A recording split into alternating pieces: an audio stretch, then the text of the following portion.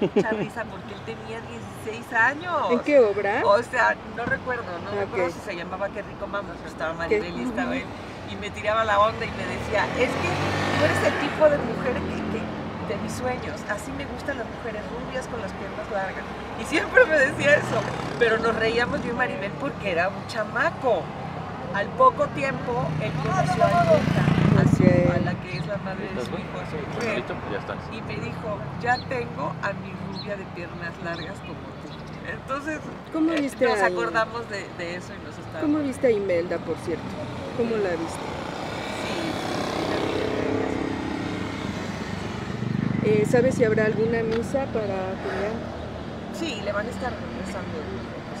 Eh, pero así en alguna iglesia, algo No así, no sabes. ¿Te comentó si en algún momento regresaría a los escenarios Maribel? Maribel seguramente les informará y nada más. Yo ya ese tipo de detalles, yo no. Lo único que quería compartir y que su público sepa que al menos este tiempo que hoy la vimos, nos sonreímos, la vimos comer, llegaron muchas amistades a las cuales ella ama mucho.